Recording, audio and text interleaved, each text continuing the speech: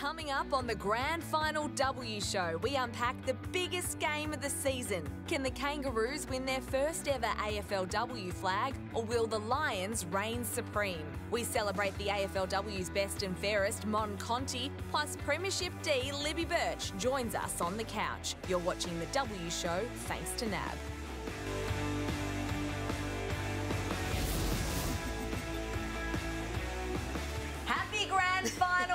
The countdown is well and truly on. We have a bumper show coming your way today and a bumper panel because not only do you have me, Nat Edwards, as host, you also have Sarah Olle. Hello. Hello, two for the price of one. I, I, like it. I like it a lot. This is going to be fun. We also have award-winning journalist Sarah Black. Two Sarahs on the panel today. That's not going to be confusing at all. How are you? Yes, I'm good, thank you. I can't believe we're finally here. Grand final time. I, I feel like we're finally here, but but it's been a big season. It certainly has, and along for the ride is one of our favourites on the W show. It is Premiership Demon Libby Birch. Libby, welcome to you. Grand final week. I know you'd much rather be playing, but it must bring back some nice memories for you. Yeah, it's so exciting. Obviously, devastating that the D's didn't get as far as we wanted to this year, but it is so exciting to see the footy that's being played. The prelims were just absolutely outstanding, and this weekend is going to be nothing short of that. And of course, award season, mm. Nat, Lib, Sarah. It is in full swing, and on Monday night, Mon Conti was crowned the season eight best and fairest. So, of course, she is our star power, thanks to NAB. And Sarah, by the eighth round, this was done and dusted. Mon Conti had polled 20 of a possible 24 votes. A very worthy winner and a tough season for the Tigers. Yeah, incredibly difficult season for the Tigers, and just reward for Mon, who really had to carry a lot of that midfield by herself, along with some support from Grace Egan. Um, everyone knows what a superstar Mon Conti is. She's such a beautiful player, Libby, when it comes to her agility around the stoppages, her ability to break through from contests, and you know she's such a yeah, 23 votes at the age of 23. Like the future is perfect. bright for Mon. Oh, just her spatial awareness, Sarah, is absolutely incredible, and I reckon one of the best in the competition at navigating her way through the most difficult situations at contests. And as you can see there, she just breaks away from pressure, and that's what makes her an outstanding player.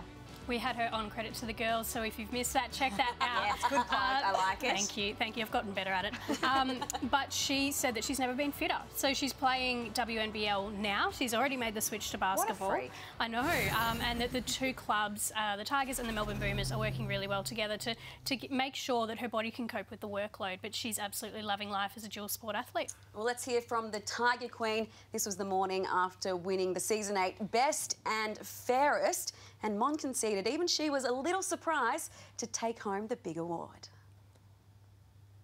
No idea. I was just telling you before, um, I didn't even plan anything. I thought I was just, you know, going to dress up and have a good night with the girls on the table. But yeah, as soon as the vote started happening, I was like, okay, this is really interesting.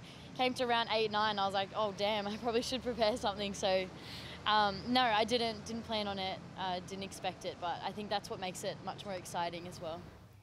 So a big congratulations again to Mon Conti. Let's see how the top 10 shook out though, because we want to celebrate some of the performances of the other players throughout the season. And Lib, look at that, 23 votes for Mon, but in second place, hello, four players sharing the spoils. Yeah, absolutely. And I think one for me was Claudia Whitfort. I thought she was tremendous for the Gold Coast Suns this year. Obviously sharing that midfield with Rowbottom and Bonnie Toogood, absolute star at Essendon. Her contested marking ability was outstanding. So obviously that top 10 looks absolutely amazing, but Monique Conti just outclassed them all.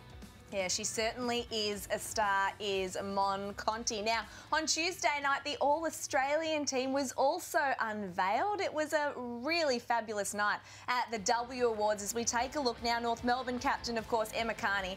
What a freak she is because it was her eighth All Australian team, the only player in W history to make every single one since the competition began. Jazz Garner was in there, Ebony Marinoff with her sixth selection, a couple of debutantes too, 11 of them. Ali Morphett, and you can see the Brisbane girls in the background. They were sort of transported into um, the night, which was really cool, and a couple of umpires as well. And look at that photo Are you a fan, ladies, of the blazer? This is what I want to know. What do we think? I think when I first saw it, it gave me that feeling of at the end of the night, and you might be going home with your partner and you're a little bit cold, so you ask for their jackets because they were all a little bit oversized, weren't they? So I love it, but Lib, do you reckon maybe get them tailored next time?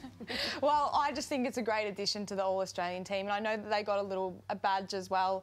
Uh, and I just think it's great memorabilia for the game. And I'm assuming, I'm not sure how it quite works, but if you make multiple All Australian mm. teams, you get that embroidered on that same. Yeah, which is Guernsey. pretty cool, isn't it? And well done, of course, to the All Australian selectors, one of ah. which might be sitting on our panel somewhere. Sarah Black, give us a wink. uh, well, Tuesday Most night. stressful time of the year. I know it was very stressful. but You did a great job. You can't please everyone. That's the one thing I've learnt with these things. Now, well, Tuesday night was a big night at the W Awards, as we've just seen, but it was even bigger on the charged coral carpet. Take a look.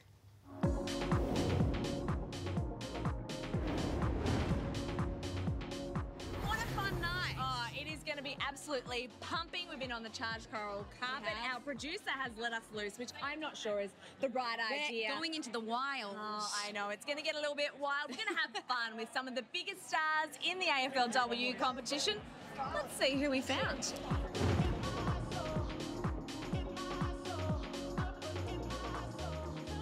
Don't get dolled up very often, so I really enjoy the process. Everyone's looking amazing. Um, it's sometimes hard to recognise people when you see them all sweaty on the field and then you see them all dolled up. It's sometimes like, oh, hey, how you going? Would you rather lose to Essendon five times in a row or be stuck in an elevator for 24 hours? I would rather be in the elevator for 24 hours. That is very much the correct answer. Thank you for that.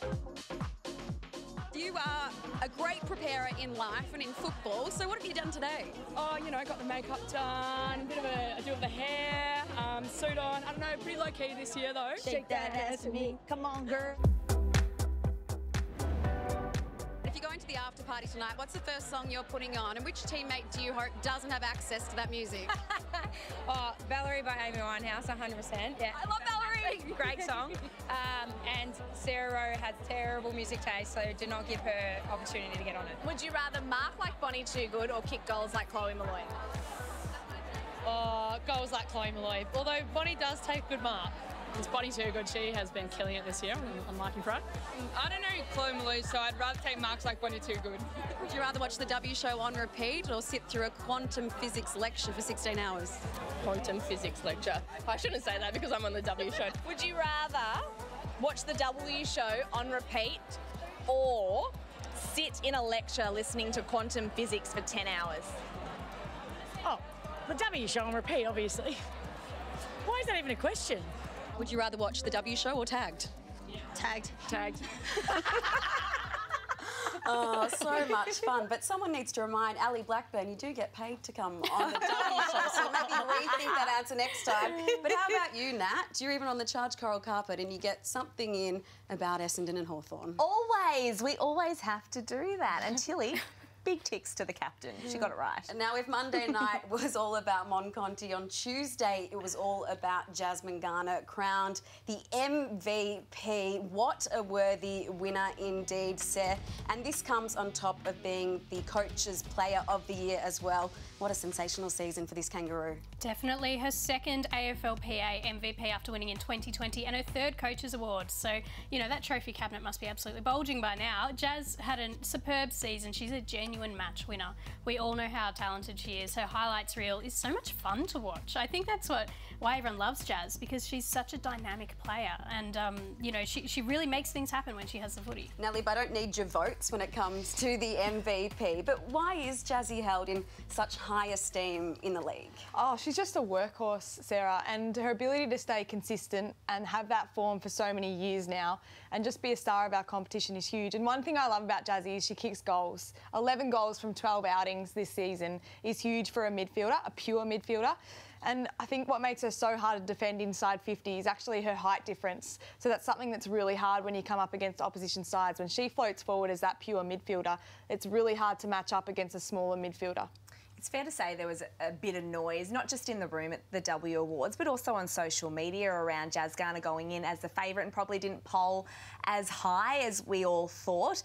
Not taking anything away from Monique Conti, who is an absolute star of the game. She's my favourite player to, to watch. but um, just talk us through, I guess, Sarah, from your perspective, what your thoughts were around that, because I know a lot of North Melbourne people thought she should have won on the night, but it's hard when you've got good teammates around you. I know. Do you want everything in life? Like your, your, team's in a grand final for a reason. they have got such depth in their squad, and not to take anything away from Ash Riddell's season, which was mm. also a career best season, absolutely outstanding, and that's where a lot of North Melbourne's votes went to Ash, um, who had 16 and Jazz had 14, which is a career high in itself. Um, so, you know, but then there's people like Emma King, Tahlia Randall, Emma Kearney. Um, there's just so many roos who caught, catch the eye of the umpires that it's not always going to fall in Jazz's favour as much as we collectively would love to see her rewarded for effort. I think that's what it boils down to. And I think we had a, our campaign very much on this very show, Jazz Garner, to win the AFLW Best and Fairest throughout the season. We thought she was outstanding, but of course, Mon Conti equally as good in that category. All right, time now to look ahead to Sunday. Three more sleeps, everyone, until the grand final. And this is how we got here. It has been one of the most exciting final series we've ever seen in the AFLW. Probably the most exciting season we've had. And the prelims did not disappoint. North Melbourne held on in an absolute thriller against the Adelaide Crows to get into their maiden AFLW Grand Final. You can see the elation and the joy, probably sheer relief as well, because Libby, so much had been made about their inability to beat those big three, Melbourne being one of them, and they did that. They knocked off the D's in the qualifying final, and then, of course, the Adelaide Crows. How have you seen North Melbourne's growth this I just, year? I just think, Nat, that's a really good point you bring up. That can be the key to winning a premiership right there is that everyone underestimates you. You've got you, are back against the wall, and that they did that. They had that in at some points during the home and away season, and they've proven. They've added a secret recipe. We're not sure what that is just yet because we're not on the inside, but they are delivering some amazing football and are in incredible form. And I just think their ferocity that they've added around the ball and their ability for their tall forwards to compete and win one on ones has been absolutely outstanding. And they are going to put uh, on a show on the weekend, and it's going to be a great grand final. And their coach too, Sarah Black. I mean, Darren Crocker. No one could be more excited than him. Um, it was just look at his little, look at that little jump. How cute is that? A 1996 Premiership player himself with North Melbourne has the opportunity to become the third only coach at the Roos to actually win a flag. It's crazy. Yeah, I spent some time at North Melbourne a few weeks ago, and the first thing I saw when I walked in the door were the four men's premiership cups, and they've got the teams emblazoned on the wall behind mm. them. The two coaches who have coached North Melbourne to a flag Ron Barassi yeah. and Dennis yeah. Pagan. Good company, isn't it? Huge Legendary. names. Darren Crocker's name is up there in the 96 grand final. He kicked three goals in that game.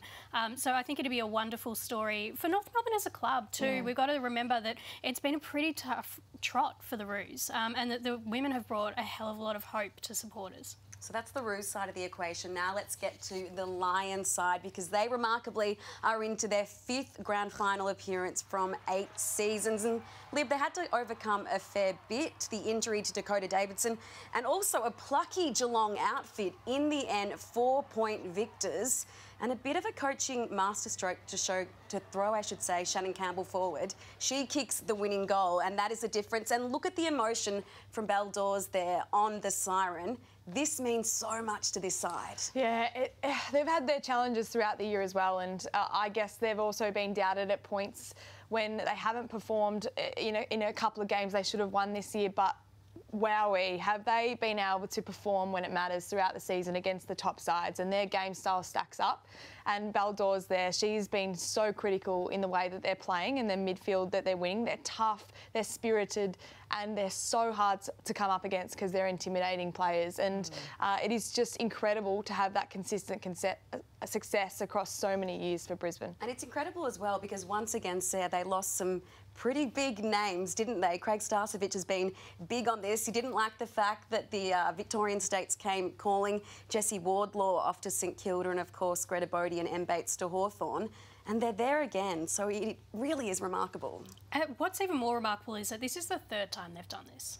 They just regenerate on the run so beautifully. Full props to the to the recruiters out there who have been sourcing these players. Jennifer Dunne's come over from um, Ireland and was really slotted in beautifully in that back line. Poppy Boltz, her development's had to be fast tracked in defence as well because there's no Kate Lutkins because she had a baby earlier this year. So you know at every turn there's been hurdles. Lib spoke about the games that they dropped. Um, they've shown great composure to to steady and they love being the underdog. Now, Nat, you alluded to this before. They've of the big three beaten the D's. Mm. They've beaten the mm. Crows. The Lions are the next test. They've never done it. Liv, they got awfully close earlier this season.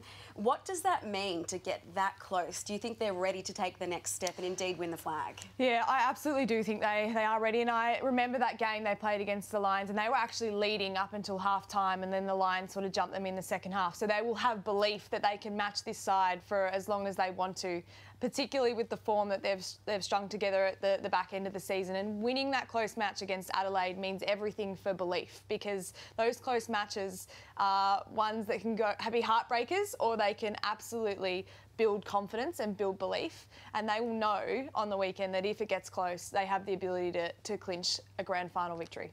So we referred to that game uh, that they last played in round four. Well, Dakota Davidson didn't play in that game, and well, it's fair to say she's in serious doubt for the grand final. Sarah, uh, the forward, she went down with what looked to be a serious knee injury against the Cats. The Lions say there's no serious structural damage and that she'll have to prove her fitness later in the week.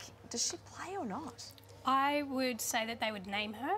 And then we'll have to wait and see on Sunday. I think you have to be watching the late teams. I Yeah. certainly will um, to see if there's any late changes there. You're going to give it every opportunity possible.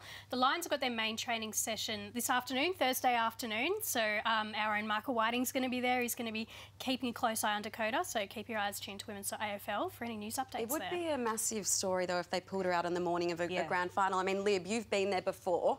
How much would that disrupt and unsettle the group to have that late change? Yeah, I think they'll be prepared for it, and that's something that you acknowledge as a group going into the week that this could possibly be a scenario. But the beauty of what Craig Starcevich has done with this team is its versatility. So they know they have played games without Dakota Davidson and they have performed. So that's not going to be a worry for them. It'll be an absolute bonus if she's out there. I think she will be. I think uh, on grand final day, it's completely different with the way that medical staff treat injuries. You got to, um, it's all in. And I, I would say we will expect to see Dakota play.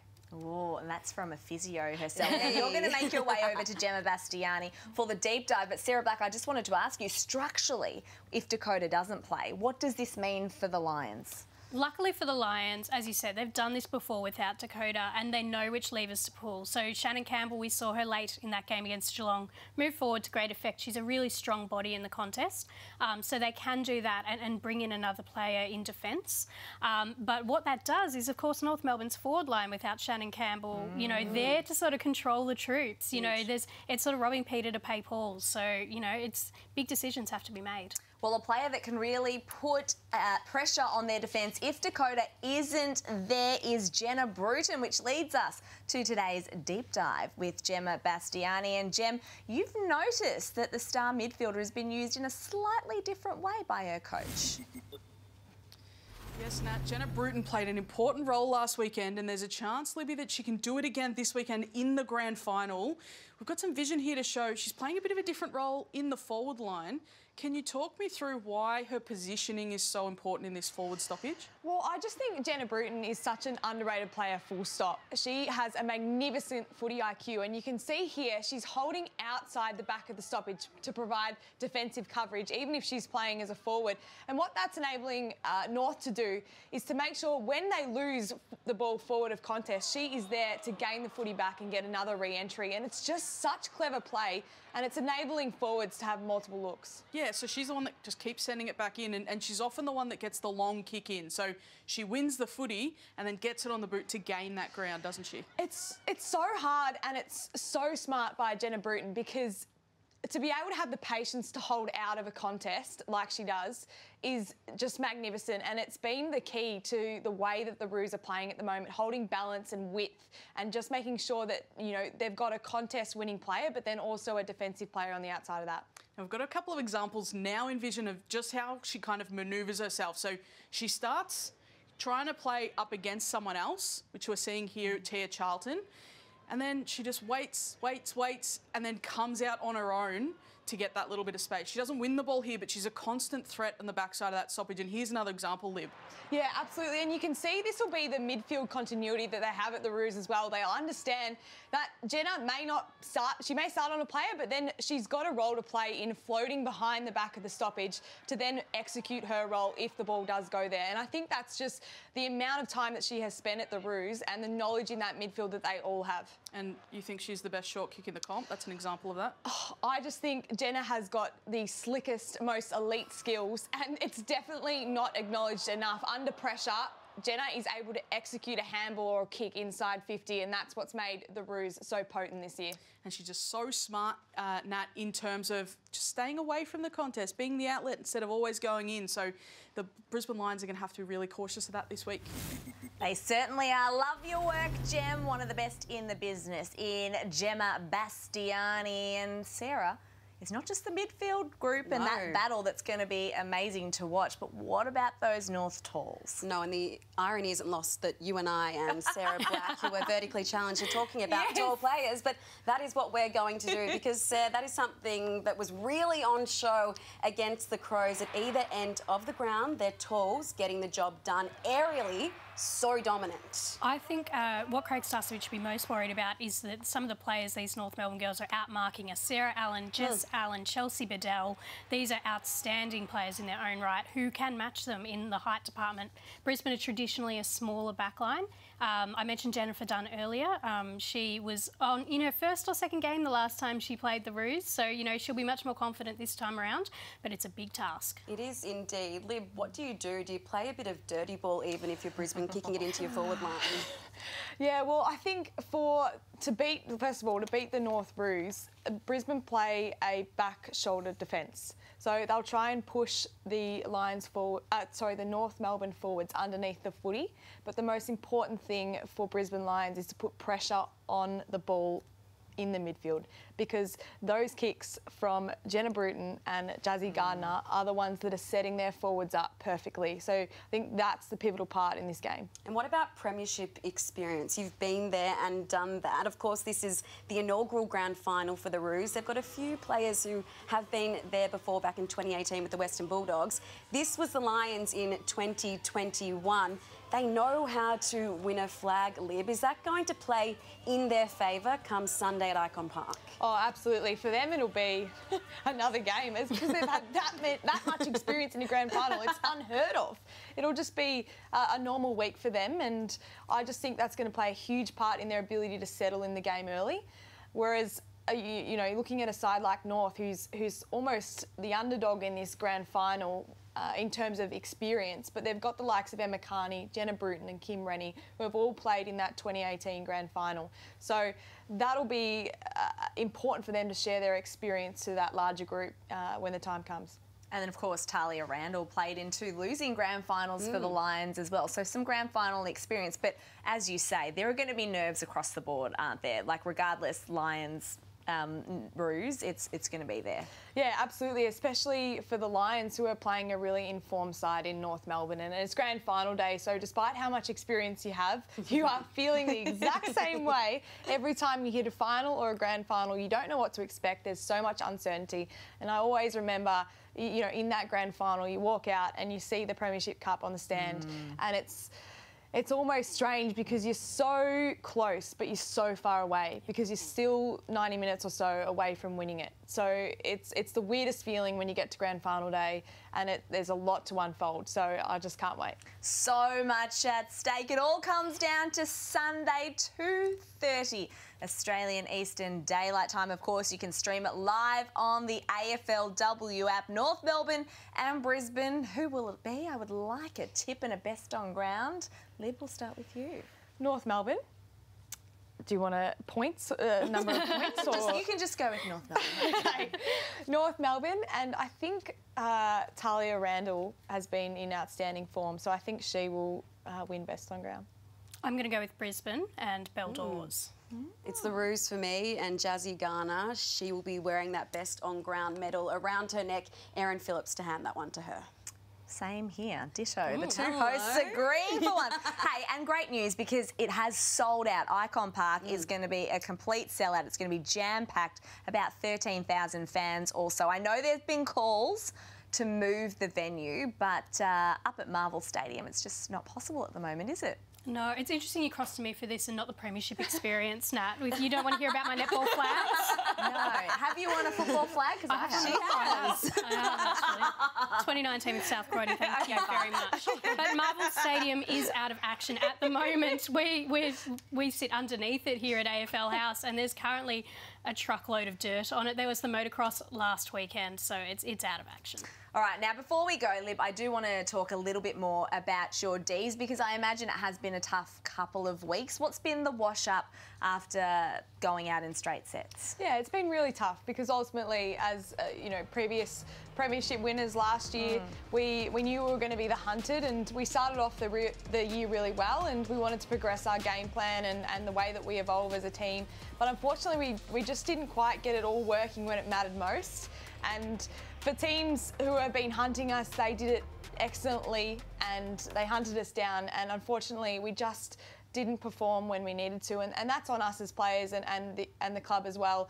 We needed to be better at the right time, and there's going to be a lot of review and uh, understanding what we can do better and how we can elevate our program again because this competition is just absolutely outstanding and it's so wholesome to watch. But also for us on the weekend it's going to be difficult because we know we could have given more and, and, and be ultimately been there. So um, it's important for us to, to reflect and, and to improve.